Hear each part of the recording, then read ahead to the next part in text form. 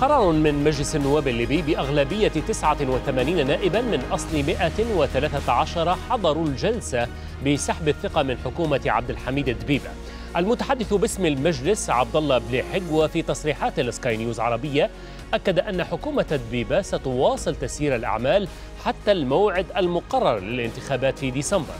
فما الذي تؤشره هذه الخطوة وما مستقبل الحل السياسي في ليبيا؟ بأغلبية 89 نائبا من أصل 113 حضروا جلسة مجلس النواب الليبي. يقرر المجلس سحب الثقة من حكومة عبد الحميد الدبيبة. مجلس النواب يمارس اختصاصاته وفقا للإعلان الدستوري ووفقا للقانون.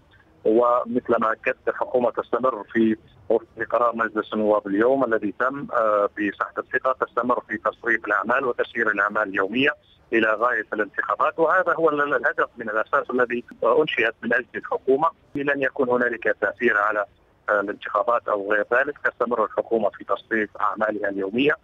المجلس قرر أيضا تشكيل لجنة برلمانية للتحقيق مع الحكومة بشأن عدد من الملفات منها الإنفاق خلال الفترة الأخيرة. لكن الدبيبه دافع في جلسة الاستجواب عن أداء حكومته مشيرا إلى أنها تعمل في ظل صعوبات عدة منها عدم اعتماد مشروع الميزانية العامة. في المقابل يرفض المجلس الأعلى للدولة قرر البرلمان سحب الثقة من الحكومة مؤكدا أنه إجراء باطل لمخالفته الإعلان الدستوري والاتفاق السياسي. إذ أنه وفقا لذلك فإن لجنة الحوار الوطني الليبية وحدها المنوطة بهذا الإجراء. وكانت اللجنة المكونة من 75 شخصا برعاية الأمم المتحدة. قد انتخبت في فبراير الماضي مجلسا رئاسيا برئاسة محمد المنفي وعبد الحميد الدبيبة رئيسا للحكومة. وأعلن حينها أن الهدف الرئيسي لهذا المجلس هو تهيئة البلاد لإجراء الانتخابات بموعدها المقرر في الرابع والعشرين من ديسمبر المقبل.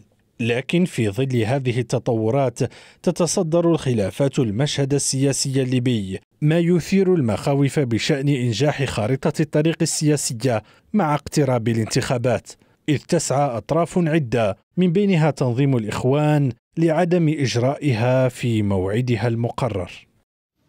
هذا وأعربت بعثة الأمم المتحدة للدعم في ليبيا عن قلقها إزاء تصويت مجلس النواب بسحب الثقة من حكومة الوحدة الوطنية. وأكدت البعثة أن حكومة الوحدة الوطنية الحالية تظل الحكومة الشرعية حتى يتم استبدالها بحكومة أخرى خلال أو من خلال الانتخابات. وأضاف البيان أن تركيز الحكومة الليبية الأساسي هو السير بالبلاد نحو الانتخابات البرلمانية والرئاسية المقررة في الرابع والعشرين من ديسمبر المقبل. للحديث حول هذا الموضوع ينضم إلينا من بنغازي الأكاديمي والباحث السياسي دكتور حسين الشارف ومن طرابلس المتحدث باسم مبادرة القوى الوطنية الليبية محمد شبار مرحبا بكم ضيفي الكريمين. أبدأ معك دكتور حسين لنتحدث عن القلق الذي تبديه بعثة الأمم المتحدة من قرار مجلس النواب ومجلس الدولة أيضا يقول بأنه لا يحق لمجلس النواب اتخاذ هذا القرار وإنما آه، آه، لجنة الحوار السياسي هي المنوطة بها اتخاذ هكذا قرار. كيف تنظر لكل ردود الأفعال هذه؟ نعم بداية مساء الخير عليك وعلى ضيفك الكريم وعلى كل السادة المشاهدين الكرام. حقيقة آه، تفاجأنا نحن اليوم من قرار مجلس النواب بسحب الثقة حيث كنا نعلم منذ أيام أن هناك لجان سيتم تشكيلها من أجل التحقيق مع السيد رئيس الوزراء عبد الحميد بيبة فيما يتعلق بالمخالفات و آه، يعني التي يعني قامت بها حكومته طيلة عملها السابق. ولكن تفاجأنا اليوم يعني بسحب الثقة. يعني الجلسة لم تكن معلنة الجلسة كانت يعني آه، مغلقة تحدثوا عن أن هناك 89 نائب قاموا بسحب الثقة وخرجوا نواب علينا آه، من جهات أخرى وقالوا إن هذا العدد غير صحيح. هناك تشكيك برلماني داخل أعضاء مجلس النواب أنفسهم فيما يتعلق بعملية فرز الأصوات. ولكن الجدل القائم الآن يعني أنت تعلم جيدا أن حكومة الوحدة الوطنية لم تأتي من من من من إرادة وطنية ليبية حقيقية وإنما أتت بها بعثة الأمم المتحدة عن طريق آه، آه، الحوار. لذلك منحت الحكومة الثقة من مجلس النواب ولكن مجلس النواب لم يكن يعني هو هو الذي اختار هذه الحكومة لذلك نرى أن القرار الذي أقدم عليه مجلس النواب اليوم في اعتقادي أنه لا يساوي ثمن الحبر الذي كتب به لأنهم قالوا بعد هذا هذا القرار أن هذه الحكومة ستكون حكومة تسيير أعمال إلى 24 ديسمبر طيب. كذلك ما ورد في بيان البعثة الأممية عندما قالت أن هذه الحكومة هي حكومة شرعية وهي الحكومة الوحيدة إلى إلى 24 وبالتالي ديسمبر. أنا في اعتقادي أن دكتور حسين ما الفائدة من هذه الخطوة؟ طالما أنها ستنظم الانتخابات وطالما أن البعثة الأممية تقول أنها شرعية يعني ما فائدة اتخاذ قرار أجوف كهذا إن صح التعبير؟ والله نحن أنفسنا لا نعرف يعني ما الفائدة من ذلك يعني نحن نحترم اراده مجلس النواب باعتباره هو السلطه الشرعية الوحيدة المنتخبة في ليبيا حتى وإن انتهت مدته وقام بتمديد نفسه م. يعني كان من حقه عندما اعطى الثقة كان من حقه أن يستجوب بهذه الحكومة أن يحقق مع هذه الحكومة أن يستبعد وزيرا تحوم حوله الشبهات ولكن أن ينسف حكومة بأكملها في اعتقادي أن طيب. هذا القرار جاء متسرع من مجلس النواب أضف إلى ذلك أن هذه الحكومة ان هناك مناكفات بين الحكومة ومجلس النواب منذ إعطائها الثقه إلى إلى يومنا هذا لم يتم اعتماد آه، ميزانية عامة للبلاد وأن السيد البيبه وضع يده في يد الصديق الكبير وكذلك رئيس ديوان المحاسبة في طرابلس وقام بصرف أكثر من 46 مليار. يعني لا, لا نعلم أين ذهبت هذه الأموال. حقيقة النواب أنفسهم منقسمون حول هذه الحكومة هناك مؤيد وهناك معارض ولكن في هذا التوقيت بالذات هذا التوقيت حساس وأنت تعرف جيدا أن هذه الحكومة لا ت... لا يزال على بقاء بقاء سوى 90 90 يوما يعني م. هل مجلس النواب يعني يريد أن يحدث بلبلة أو يريد أن يحدث انقسام آخر أو يريد أن ان ان, أن يحدث يحدث عثرات لكي لا نذهب إلى الانتخابات القادمة مع طيب. أن المجتمع الدولي كله مصر على أن واضحة. تكون أربع أن يكون 24 ديسمبر هو الانتخابات الرئاسية والبرلمانية القادمة أستاذ محمد شوبار آه، برأيك آه، كيف تنظر لخطوة مجلس النواب؟ آه، هل بالفعل كما يطرح السؤال دكتور حسين انه مجلس النواب يريد أن يحدث بلبلة؟ أم انه هذا الإجراء عادي تقوم به كل يعني برلمانات العالم؟ وبالتالي هذا دور رقابي على الحكومة التي تصرف وتهدر المال العام؟ ليس إلا ما رأيك؟ بداية تحية طيبة لك ولضيفك الكريم ولكل السادة المشاهدين. طبعا هذه الخطوة بالتأكيد ستربك المشهد وهي بمثابة العودة إلى المربع الأول من من جديد. م. هذا من جانب. من جانب آخر بالتأكيد الحكومة آه، انحرفت كثيرا عن اختصاصاتها التي تم التوافق عليها في ملتقى الحوار السياسي الليبي. بمعنى آخر أن يعني هذه الحكومة لم تنفذ مخرجات ملتقى الحوار السياسي وكان الهدف الرئيسي من هذه الحكومة هو التمهيد لانتخابات الرابع والعشرين من ديسمبر القادم. من جانب آخر أيضا المجلس النواب آه، وقع أيضا في أخطاء كثيرة وجسيمة أيضا في حق آه، ليبيا كوطن. مجلس النواب هو من جلب يعني القوات الروسية إلى إلى ليبيا. هذا يعني أصبح واضح ومدون في معظم تقارير خبراء بعثة الأمم بعثة الأمم المتحدة وأيضا خبراء مجلس الأمن الدولي.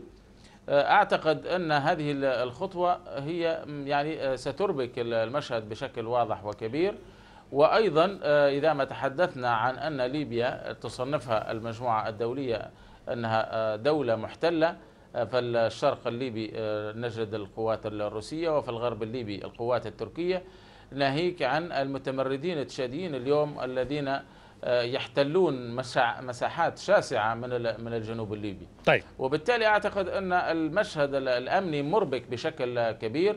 وأخفقت كل الأجسام التي انبثقت عن ملتقى الحوار السياسي في التمهيد لانتخابات الرابع والعشرين من ديسمبر القادم. ولعل مسألة سحب الثقة من الحكومة هي الأخرى آه، يعني آه، تزيد آه، من الصعوبات والتحديات هو, التي هو أستاذ محمد كما كما كما ذكر مجلس النواب والمتحدث باسمه انه يعني مسألة سحب الثقة لن تؤثر على تنظيم الحكومة لهذه الانتخابات وبالتالي لا مشكلة في اجرائها في في موعدها المحدد، كيف تنظر أنت إلى سحب الثقة فقط لكي لا تكون الحكومة مسؤولة على توقيع اتفاقيات وما إلى ذلك؟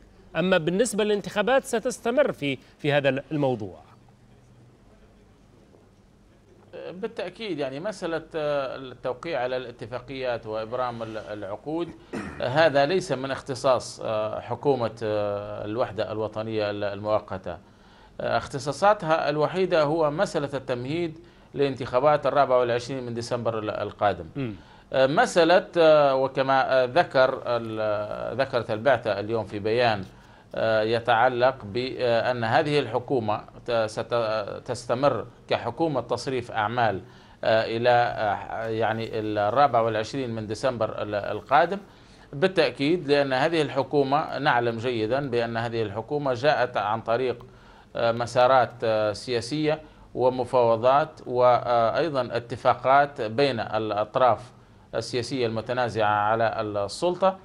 أضف إلى ذلك أن هذه المخرجات كانت مدعومة آه، ومدعومة أيضا من المجتمع الدولي. باعتبار أن ليبيا إلى حد هذه اللحظة تحت طائلة الفصل السابع. طيب. ولكن أعتقد أن جدية المجتمع الدولي في خلق استقرار آه، في ليبيا جاء بشكل واضح وكبير من خلال مندوب الولايات المتحدة الأمريكية في جلسة مجلس الأمن الماضية الذي آه، ذكر بالحرف الواحد أنه بالفعل قد حان الوقت لتنفيذ كل قرارات مجلس الأمن الدولي الخاصة بمسألة فرض السيادة وعودة السيادة الدولة الليبية وأيضا طيب. آه، وضع آه، حل جذري للأزمة السياسية في ليبيا دكتور نعم. حسين ما أبرز التكهنات حول مستقبل المرحلة الانتقالية المرحلة المقبلة كيف ستتعامل الحكومة مع هذا الوضع الجديد وهو سحب الثقة منها سيدي الكريم انت تعلم جيدا أنت بدات بدأت المناكفات الآن بين بين رئيس الحكومة وأعضاء مجلس النواب. اليوم رئيس الحكومة في ميدان آه، العاصمة الليبية طرابلس وسط وسط المدينة أو ميدان الشهداء. آه، صرح تصريحات خطيرة جدا. يعني قال سنسقط نحن سنسقط البرلمان مع مع وشن الهجوم على أعضاء مجلس النواب. والا الا إلا فئة قليلة قال إنهم وصفهم بالوطنيون وصفهم إنهم يقفون آه، بجانب الحكومة. آه، رئيس الحكومة لن يعير اهتمام لما قد لما لما لما صدر اليوم من آه، مجلس النواب ولن يحضر إلى مجلس النواب مرة أخرى وهو سيقبع في طرابلس وستكون حكومة الأمر الواقع.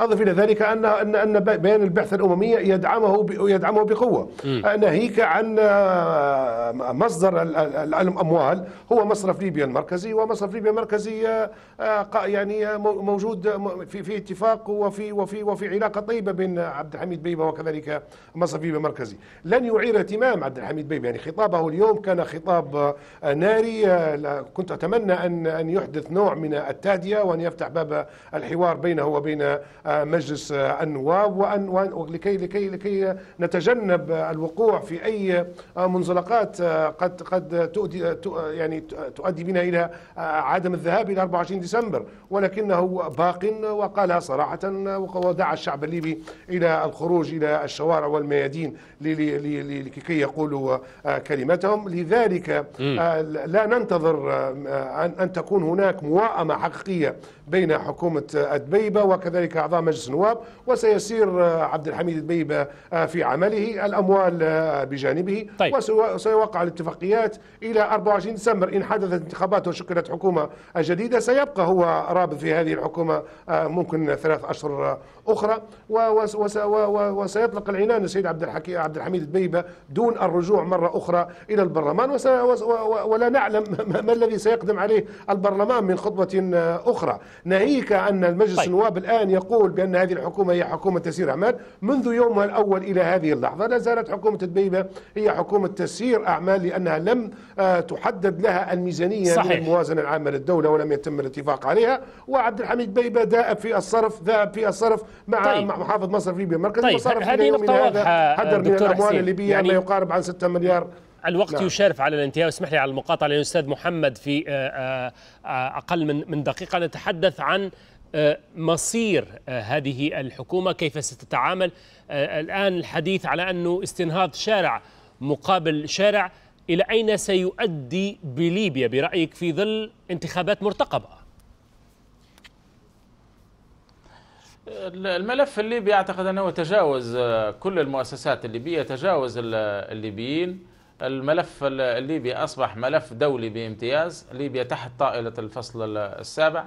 وبالتالي نحن كمبادرة قوى مبادرة قوى الوطنية الليبية نترقب الحقيقة تدخل من المجتمع الدولي لفرض سيادة الدولة الليبية ولفرض الأمن وجمع السلاح وكذلك أيضا وضع حل جذري للأزمة السياسية في ليبيا. لا أعتقد أن هناك لا دول إقليمية ولا دول عربية ولا حتى المؤسسات الليبية اليوم تستطيع أن تحرك أي شيء في الملف. الليبي باعتبار أن ليبيا تحت طائلة الفصل السابع. نعم. أضف إلى ذلك أن هناك جدية من المجتمع الدولي على رأس الإدارة الأمريكية في مسألة تنفيذ قرارات مجلس الأمن التي خصوصا تلك التي صدرت تحت طائلة نعم. الفصل السابع. نعم. نعم. شكرا جزيلا لك أستاذ محمد شوبار المتحدث باسم مبادرة القوى الوطنية الليبية كنت معنا من طرابلس. أشكر الدكتور حسين الشارف الأكاديمي والباحث السياسي. كنت معنا من بنغازي. شكرا لك.